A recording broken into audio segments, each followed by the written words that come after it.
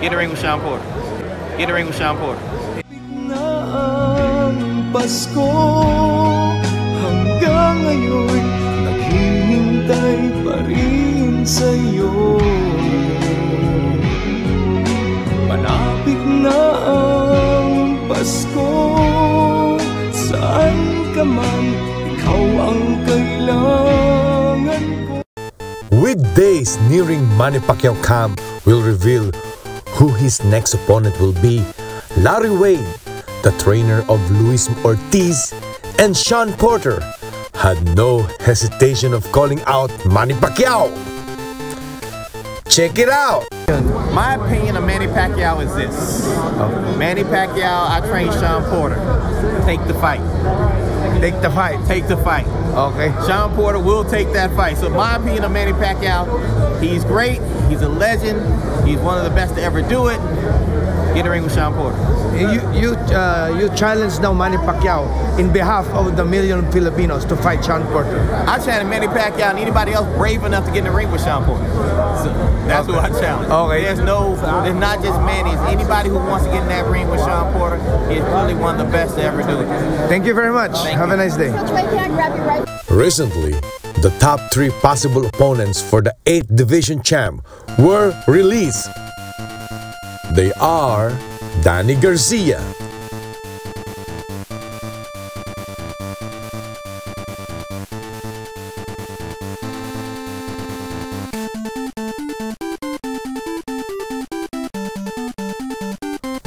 Mikey Garcia,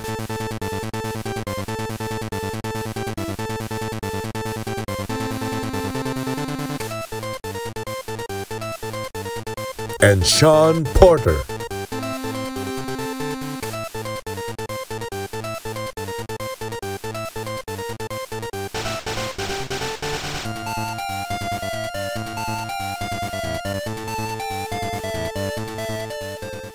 We all know Porter lost to Errol Spence Jr. And it should Spence who Pacquiao should fight, but because of the car accident, Porter gets another chance to face the legendary boxer. As the saying goes, one man's loss is another man's gain.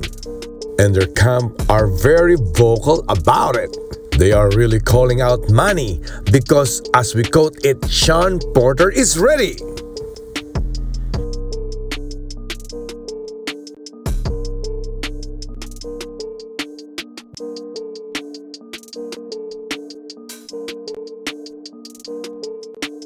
Or maybe it will be a big way to redeem Porter's career after getting defeated by Spence.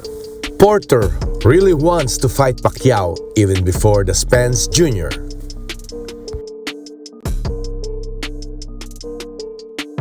Will the champ pick Porter over the Garcias? Is Porter a great fight for Pacquiao? Let's take a deeper look. Shawn Porter is an aggressor just like Pacquiao. Porter loves to step in.